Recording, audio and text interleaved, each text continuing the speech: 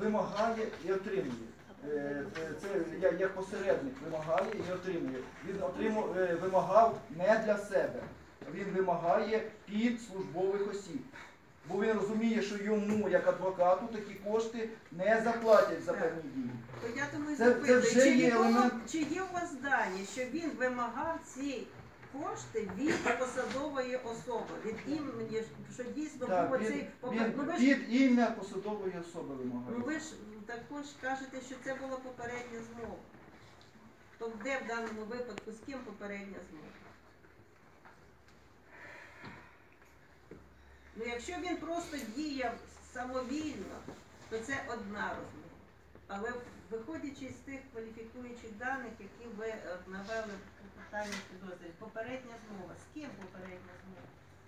І слідчим, цим, за, яким проводиться перевірка, чи із суддею якимось не встановленим. Ну не може бути попередня змова, якщо не встановлено, з ким ця змова взагалі велася.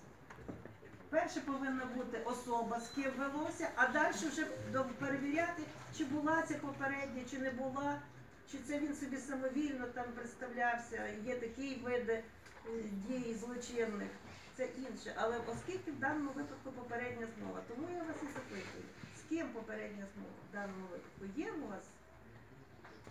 Ні, таких відомостей, на жаль, на даний час. Не Ну тоді уточніть.